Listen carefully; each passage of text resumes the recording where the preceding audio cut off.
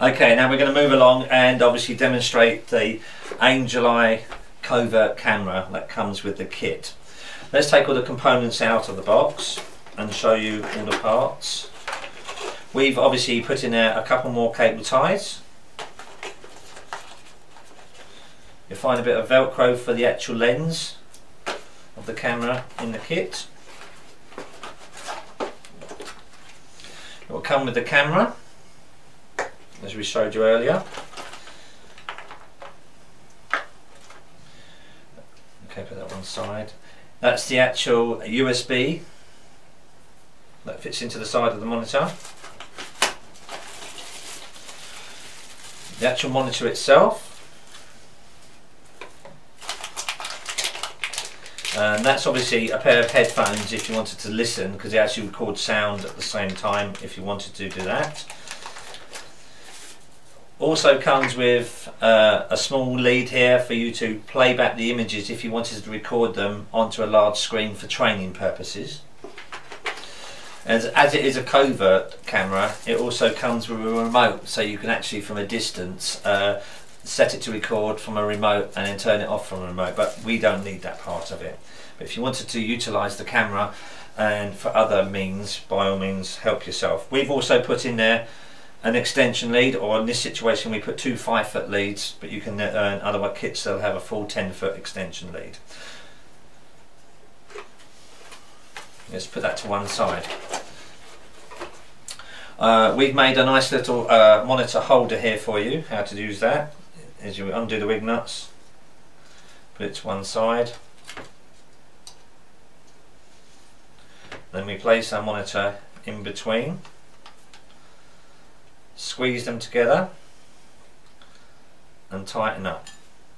So what that's for is when you're actually using the camera itself and the monitor, that's designed to go through the letterbox, hold the camera in the letterbox position. Most of you already have a, um, a wedge, a sponge wedge, a triangular wedge, that would actually hold that in the letterbox with uh, holding the letterbox up at the same time. Look at that, it'll actually come on for me. Okay, when as soon as you push the button, three seconds on the top, it will, it will turn on and it will still vibrate until you actually insert the actual camera on the top. There's no there's no menu to navigate. As soon as you plug the actual uh, camera eye into the actual monitor, you have the picture. Now this camera is such a unique camera. It's on the top here you can adjust the view. If it's blurred, that's your lens. You turn the lens and it adjusts for whether it's clarity or obviously blurred. When we are suggesting you use this camera in its holder, we say don't tug on the actual cable itself, hold it and you twist and push it in there and then that'll hold it firm. But within the camera holder you can actually move the camera forward and back. If you want the lens further this way you insert the camera from the back end which gives you a lot more larger field of view. And then grab the camera itself twist and then remove the camera gently. Now if you wanted to obviously take the images off of the camera and not use it as a monitor you would obviously do so. Let's switch the uh, camera off remove the actual monitor you'd actually do so via the USB lead. The USB lead would go in the side and then you can plug that into your computer and then transfer the files from the actual uh, monitor into your computer.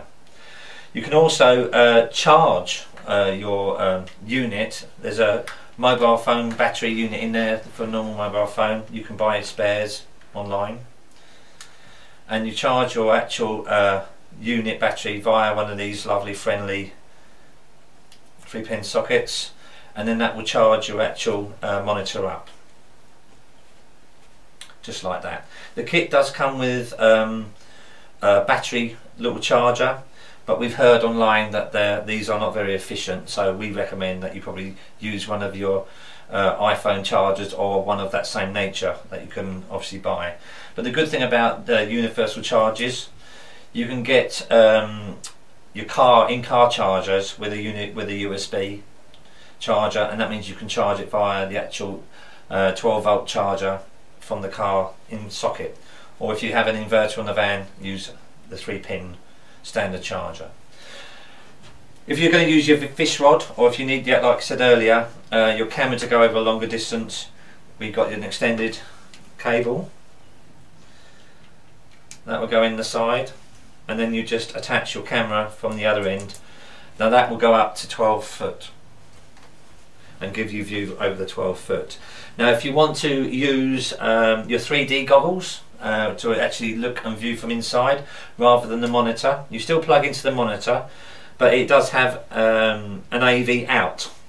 So with your camera attached you can plug your uh, AV out into your 3D glasses and then use it via your 3D glasses rather than the monitor screen itself.